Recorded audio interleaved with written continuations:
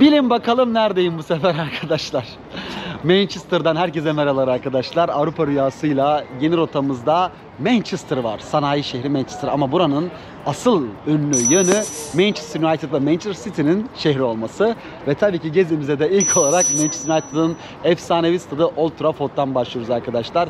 Burası 76 bin kişilik dünyanın en büyük ve en güzel statlarından da birisi aynı zamanda inanılmaz başarılarla dolu, dünyaca ünlü oyuncuların ve teknik direktörlerin kaldığı, işte Beckham'ından Cristiano Ronaldo, Cantona, George Best kim ararsanız burada bir dönem yaşamış ve Manchester'lılar, işte kırmızı şeytanların da yuvası burası arkadaşlar.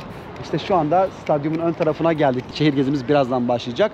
İsterseniz gelip e, hemen girişteki bakın iki tane mega store kapısı var. Buraya gelip lisanslı ürünleri alabilirsiniz. Onun dışında hemen arkada sol tarafta e, Alex Ferguson'ın da heykeli var. Hemen arkanda da United'ın yine geçmişindeki en önemli 3 oyuncunun simgelediği de o United Trinity adı verilen bir heykel de var. George Best'in de içine e, üzerinde heykelinin olduğu arkadaşlar. İşte böyle bir alanda fotoğraflarınızı, görsellerinizi çekebiliyorsunuz. Şimdi biraz shopta neler var bakalım. Ondan sonra Manchester gezimize devam edelim.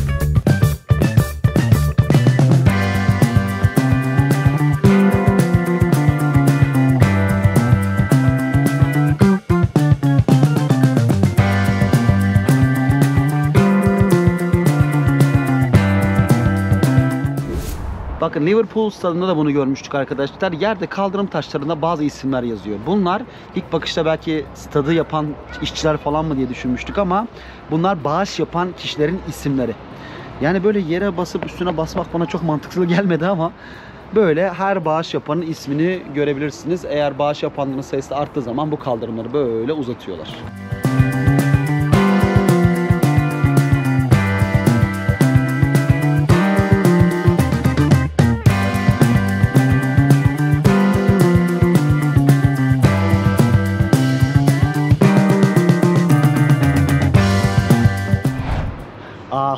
zaferler ne zaferler. 2-0'dan 3-2'ye geçip sonra 3-3 biten maç mı dersin? Biliyorsunuz ki o Şampiyonlar Ligi'nin kaderini değiştiren bir olay. Şöyle anlatayım arkadaşlar size Galatasaray'ın e, tam senesini hatırlamıyorum. Manchester United'da bundan böyle bir 30 sene önce yaptığı bir maç var. Galatasaray buraya geliyor. İstanbul'daki maç e, 0-0 bitiyor. Buradaki maçta Galatasaray 2-0 geriye dönüp 3-2 öne geçiyor. Yibobo, yibobo. evet Galatasaraylılar kenar sağdan soldan geçince. Neyse 2-0'dan 3-2 e, öne geçiyor sonra Galatasaray. Hatta o zamanlar Arif'in falan attığı gollerle. Sonra Manchester 3-3 yapıyor ama Manchester United Şampiyonlar Ligi'nin ilk senesinde Galatasaray'a elenerek kupaya veda ediyor. Ve Galatasaray Şampiyonlar Ligi'ne tarihinde ilk defa katılıyor. Ondan sonra bir ülke şampiyonunun hatta İngiltere Ligi'nin şampiyonunun Galatasaray'a elenmesi bu Şampiyonlar Ligi tarafına hiç hoş karşılanmıyor ve bir sonraki sene statü, statü değiştiriliyor ve e, İspanya, İngiltere, Fransa ve Almanya'nın şampiyonlarının lige katılma hakkı getirilince işte bayağı bir Galatasaray bu olaya vesile olmuş oluyor. Ondan sonraki zamanlarda artık işte bu 5 ülkenin birinci bir takımları, şampiyon takımları direkt katılıyor. Diğer takımlar artık öneleme maçları oynuyorlar. İşte böyle Galatasaray'ın mazisi var. Sonraki yıllarda yine Galatasaray burada çeşitli zaferler elde ediyor. Hatta en son geçtiğimiz sene biliyorsunuz ki yine burada 3-2'lik bir galibiyetimiz var. İstanbul'daki maçta 3-3 bitmişti. İşte öyle. Leeds'in, şimdi az önce gelirken Leeds United stadını gördük. Sonra Old Trafford'u gördük. Yani Galatasaray bayağı bir Avrupa'yı fethetmiş ve bu stadları görmek de gerçekten güzel bir duygu.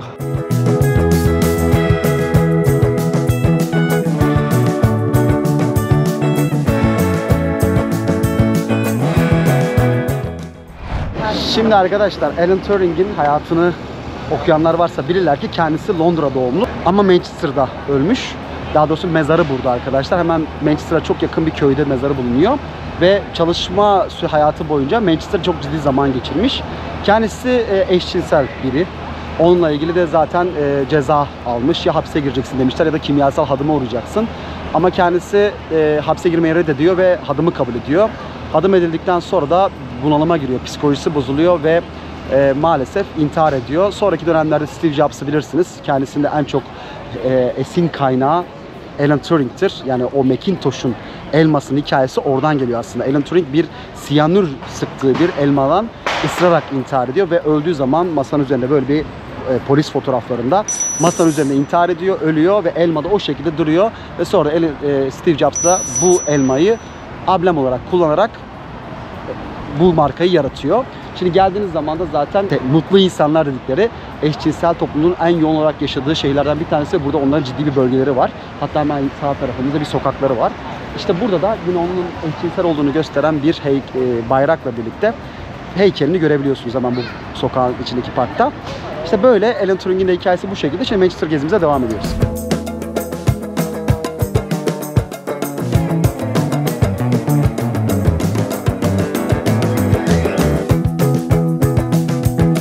Arkadaşlar gördüğünüz gibi gay, gay köyüne hoş geldiniz. Mutlu insanlar köyüne hoş geldiniz diyorlar. Ama her yer işte böyle gökkuşağı. Şimdi burada da arkadaşlar LGBT övme, övme falan yapmıyor. Benim herkesin hayat tarzına saygım sonsuz. Sadece bu, şu anda bulunduğumuz bölgeyi size gösteriyorum. Birazdan da zaten Çin mahallesine şimdi geçeceğiz. Sonuçta bir ülkeye geliyorsanız onların böyle ilginç ve turistik mekanlarını da göstermeniz gerekiyor. Bazen böyle yorumlarda saçma sapan şeyler görüyoruz. Yok Yahudileri ölüyorsun, bir gün işte e, Hristiyanları övüyorsun, bir gün Müslümanları bilmem ne yapıyorsun. Hep böyle bir linç yiyoruz maalesef. Ama artık şu olayı bir anlayın. Biz hiçbir yerin tarafı değiliz. Biz size olanı göstermeye çalışıyoruz. Yorumlamasını size bırakıyoruz. Manchester'da görmeniz gereken en önemli yerlerden bir tanesi de arkadaşlar Çin Mahallesi. Bakın böyle efsane bir kapı görüyoruz karşımızda. Liverpool'daki kapı bundan çok daha büyüktü. Ama Manchester'daki de ga- gayet şık, böyle tatlı bir kapısı var. Zaten Çin mahallelerine geldiğiniz zaman bu kapıları önce bu kapıları görünce anlıyorsunuz Çin mahallesine geldiğinizi ama doğru noktadan girerseniz tabii. İçeride dünya kadar Çin mutfağına ait ürünler, hediyelik eşyacılar, restoranlar falan oluyor. Benim de en sevdiğim bölgelerdir. Gittiğim şeyler bölgelerden biridir öyle söyleyeyim. Çok tatlı ve güzel sokak lezzetleri bulabiliyorsunuz. Şimdi Çin mutfağı severler için burayı da göstermiş oldum. Şimdi biraz Manchester'ı yorumlayalım arkadaşlar. Manchester bir sanayi kenti. Birmingham'la birlikte ülkenin en ünlü sanayi şehirleri buralar. Sanayi şehri de olunca çok fazla böyle tarihi ve turistik yer beklemeyin. Karşıda bir olay mı var ya? Polisler molisler adamım. Şşt. Karşıya bak karşıya. Aynen. Vallahi olay var arkadaşlar. Bu aralar İngiltere'de çok ciddi sorunlar var. Özellikle Southampton'da şu anda göstericilerle polis çatışıyor sürekli. İnşallah öyle bir şey denk gelmeyiz. Ee, hani gerçi gel, gelsek de olur görmüş oluruz da. Neyse konumuza dönelim. Manchester, dediğimiz zaten işte sanayi kenti. Çok fazla tarihi mekan yok. Birkaç tane çok güzel kütüphanesi var. İşte Chinatown'u, Mutlu İnsanlar Köyü. Onun dışında işte katedrali var bir tane. Şimdi bakalım. Güzel bir iki buçuk saat boyunca ekstradan burada devam edeceğiz turumuza. Sonrasında alışveriş caddesine uğrayıp artık buradan Birmingham'a geçeceğiz.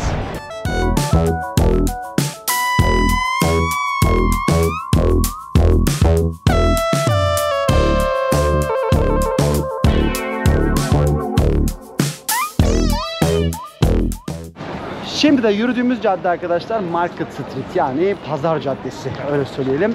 Burası aynen bizim İstiklal gibi trafiğe kapalı.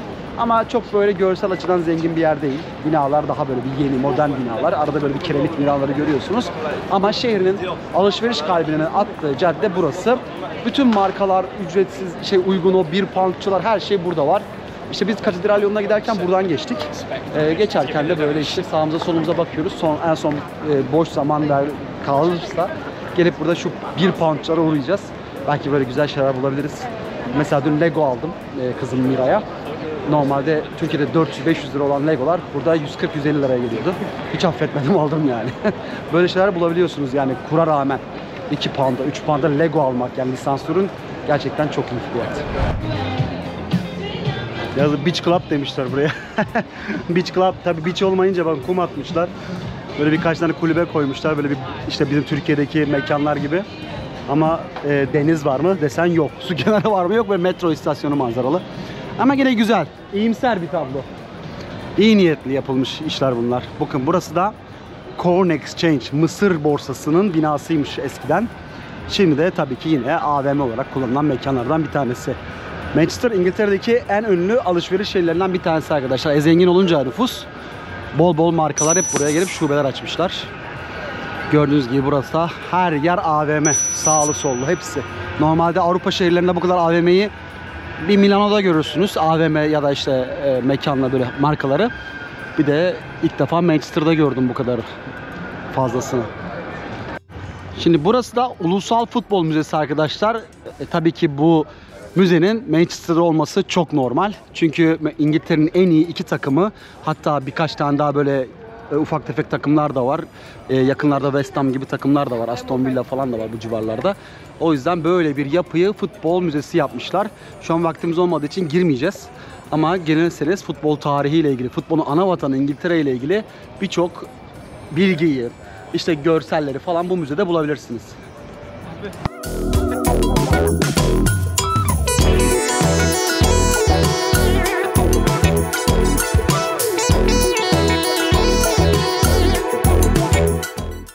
gördüğünüz yapı arkadaşlar 600 yıllık bir kütüphane binası. Chetham's kütüphanesi burası. Şimdi bu şehirde 3 tane kütüphane var. Birisi zaten modern kütüphane. Birisi, bir- birisi de bu, diğeri Reynolds kütüphanesi. Oraya gideceğiz. Ama burası ücretli. 12 poundlık bir giriş ücreti var ama gerçekten güzel bir kütüphane. Yani görsellerini görmüştüm ama şu an artık turumuzun sonunda çok para harcadık. 12 puan da buraya harcamak istemiyorum ama görmeyi de isterdim. Ama 1422 yılına kadar bir hikayesi var bunun arkadaşlar. 100 bine yakın kitap burada sergileniyor. Daha doğrusu işte okuyucularını bekliyor. Ama buranın bir diğer önemi de Karl Marx'ın Friedrich Engels'la buluşma yeri olarak da bu tarihte önemli bir buluşmaydı. İki tane ünlü e, filozofun diyelim artık buluştuğu yer bu kütüphane. O yüzden e, burada gelip gezebilirsiniz. Burası Manchester Üniversitesi'nin ki Manchester Üniversitesi dünyanın en iyi üniversitelerinden bir tanesidir. Kütüphanesi olarak da geçiyor arkadaşlar. Şimdi bakın hemen arkada katedral var. Oraya doğru devam ediyoruz.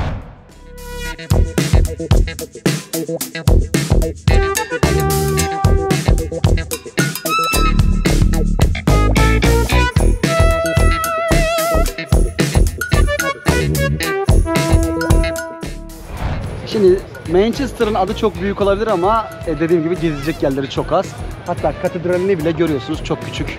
Yani Durham'dan sonra, York'tan sonra, Bath'tan sonra o devasa katedrallerden sonra Manchester'ın katedralleri biraz yanlarında çok sönük kalıyor. Bu 1488-1506 yılları arasında yapılmış. 1847 yılında da artık katedral statüsüne yükseltilmiş bir Anglikan kilise- kilisesi. Şu anda şehrin işte ana meydanı, müzelerin olduğu kısımda işte zaten Chatham Kütüphanesi'ni az önce size anlatmıştım. Orada bulunuyor. Hey mate. Ondan sonra burada da işte gördüğünüz gibi e, katedral arkamda duruyor. Bu arada İngilizler çok seviyorlar konuşunca araya girip böyle selam vermeye, sıcak kanlılar baya. Size şimdi katedralin içine girmeye çalışacağız. İnşallah bu kadar dandik bir katedralde paralı değildir. Binmeli. Bence bedavadır. Bir girelim bakalım içeri nasılmış. Ondan sonra yolumuza devam edeceğiz. Arkamda gördüğünüz bu küçücük yapı 500 yıllık bir ev arkadaşlar. Daha doğrusu bir ticaret merkezi. Manchester'daki en eski bina. Zaten o Chester mimarisini gördüğünüz zaman buranın böyle en eski binalardan birisi olduğunu anlıyorsunuz. Burası ilk kurulduğu zaman bir bank olarak kullanılmış, ticaret evi olarak kullanılmış, pamuk borsası olarak kullanılmış ama şu an ön taraf çok sesli olduğu için arkasına geçtim. Görüntüleri zaten gördünüz. Şu anda kafe restoran olarak hizmet veriyor. Yani güzel bir yer. İngiltere'nin böyle en eski yapılarından birisi ya da Manchester'ın en eski yapısında oturup yeme içme keyfi yaşamak ayrı bir deneyim olsa gerek. Çünkü bu şehirde tarihi mekan görmek çok fazla mümkün değil. Şimdi burayı da gördük. Bir sonraki mekana devam ediyoruz.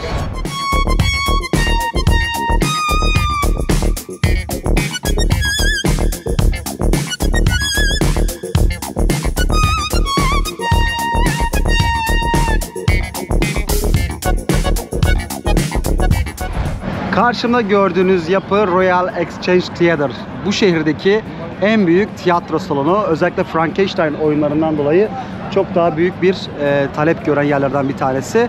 Şehirde bundan daha büyük bir sanat merkezi yok arkadaşlar. Zaten yapıyı görünce ne kadar büyük bir yer olduğunu anlıyorsunuz. Eğer tiyatro izlemeyi seviyorsanız Manchester'daki programına iyi bakın. Sonra gelip buraya gelip oyununuzu izleyebilirsiniz.